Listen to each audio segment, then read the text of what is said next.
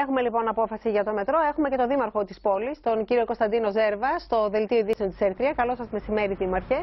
Σταθερά, εσείς και με συνέπεια Καλό είστε. μεσημέρι, κυρία Σάπικα. Καλό μεσημέρι. Έχετε ταχθεί υπέρ της απόσπασης και επανατοποθέτηση των αρχαίων, άρα θα πρέπει να είστε χαρούμενος με την απόφαση. Ναι, γνωρίζετε καλά ότι αυτό το θέμα προέκυψε το 2014 και η δική μου θέση από τότε ήταν πολύ σταθερή. Χαίρομαι που βήμα-βήμα δικαιώνεται. Εκείνο βέβαια προβληματίζει εμένα, αλλά προβληματίζει και όλη την πόλη.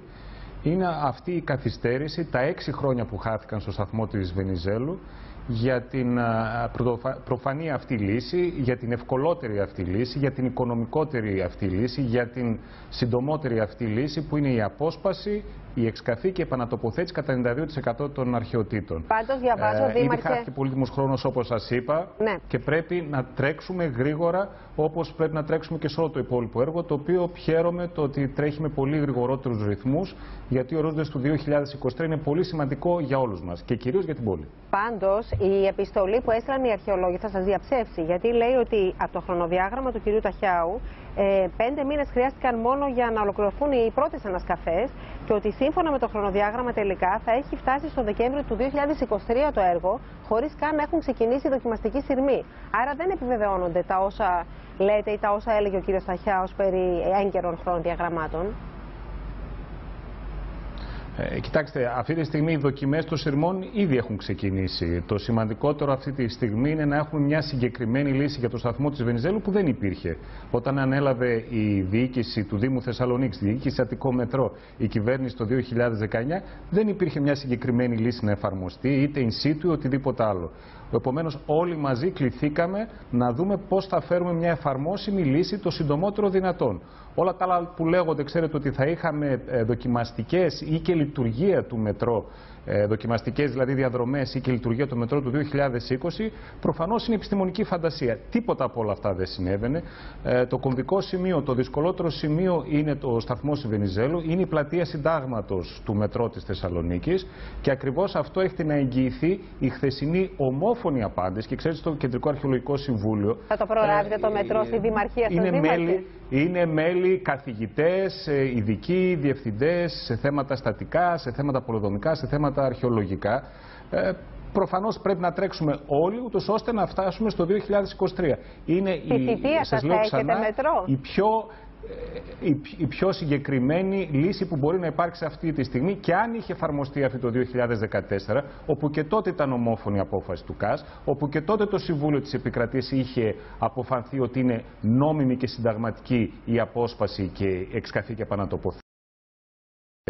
Και ασφαλώς αυτός είναι ο στόχος. Όχι μόνο γιατί η θητεία μου είναι μέχρι το 2023, αλλά γιατί η πόλη δεν αντέχει ούτε μία μέρα, όχι άλλα τρία χρόνια χωρίς μετρό. Γιατί το 2023, ξέρετε, αν δεν έχει ολοκληρωθεί το μετρό, το ελληνικό διά, το ελληνικό, ε, το, το, η ελληνική κυβέρνηση θα πρέπει να επιστρέψει πίσω οι περίπου 750 εκατομμύρια ευρώ χωρίς να έχει δυνατότητα όχι να δείξει τα αρχαία, ούτε καν να ολοκληρώσει το μετρό. Άρα πρέπει να τρέξουμε όλοι. Εγώ έχω ένα απίστευτο άγχος σαν δήμαρχος της πόλης, αλλά και σαν μηχανικός, ούτως ώστε να τρέξουμε με γρήγορους ρυθμούς, ακόμα και αυτοί οι λίγοι μήνες, στους οποίους αναφέρθηκε προηγουμένως και ο πρώτος στατικό μετρό, ο κ. Σταχιάος, δηλαδή μέχρι να βγει απόφαση του Συμβουλίου Επικρατείας, που εγώ ακόμα δεν μπορώ να καταλάβω ποιος είναι ο λόγος αυτής της προσφυγής. Και αυτοί οι μήνες, αυτές οι μέρες, αυτές οι εβδομάδες είναι μεγάλη ζημία για την πόλη της Θεσσαλονίκης. Είναι κάτι το οποίο πρέπει να τρέξει γρηγορότερα και χαίρομαι πάρα πολύ που αυτή τη στιγμή, όπως είπε και ο Υπουργός, Έχουμε την εγκεκριμένη μελέτη απόσπασης, τρέχουν οι μελέτες, γιατί ξέρετε δεν είναι μόνο τα αρχαία, είναι και η κατασκευή του σταθμού. Τρέχουν οι μελέτες που και αυτές δεν υπήρχαν για το σταθμό Βενιζέλου, γιατί ξέρετε πέρα από τα αρχαία δεν υπήρχαν εγκεκριμένες μελέτες κατασκευής του σταθμού. Είναι πάρα πολύ σημαντικό να εγκριθούν και αυτές. Σας πληροφορώ και σας το λέω και σαν μηχανικός, όχι ως δήμαρχος της πόλης, ότι αυτή τη στιγμή εγκρίνονται, υποβάλλονται και εγκρίνονται αυτές οι μελέτες, ούτως ώστε όταν τελειώσει αυτή η ταλαιπωρία, γιατί δεν πρόκειται για, κατά την άποψή μου, για ε, ένδικα μέσα, πρόκειται απλώς για ταλαιπωρία του Μάλιστα, έργου. Πρόκειται για μια διαδικασία που ποτέ δεν κατάλαβα γιατί θα πρέπει ε, όλες αυτές οι δαπάνες, όλες αυτές οι καθυστερήσεις να είναι υπέρογες. Να σας πω ένα νούμερο, κυρία Σάπικα. Μέχρι στιγμής ε, σε αρχαιολογικές ανασκαφές στο μετρό Θεσσαλονίκης έχουν δαπανηθεί 134 εκατομμύρια Εντάξει, ευρώ. Το Μουσείο της Ακρόπολης στήξε 107 εκατομμύρια ευρώ. Ότι και με τις και πάμε, νέες το ταξίμετρο θα γράφει. κοστίσει κάτι παραπάνω έτσι κι αλλιώς. Δηλαδή και για τα οικονομικά η κριτική είναι πολύ έντονη. Μα, μα ούτως ή άλλως είχαμε μια σταματημένη κατάσταση και ούτως ή άλλως αυτοί που κατηγορούν όλους εμάς προβαίνουν και σε άλλες καθυστερήσεις.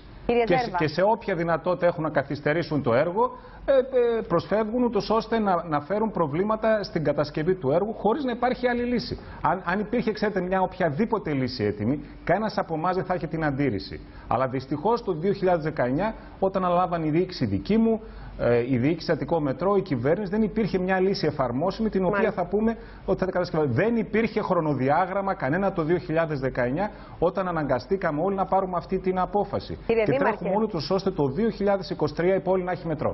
Ε, θα ήθελα πολύ να σας ξανακαλέσω μία φορά στο Δελτίο Ειδήσεων της Ερτρία να συζητήσουμε και όλα τα άλλα μεγάλα θέματα του Δήμου Θεσσαλονίκης. Να σας ευχαριστήσω πολύ για την σύνδεση αυτή. Εμείς, Εγώ σε ευχαριστώ. Καλή συνέχεια. Να είστε καλά.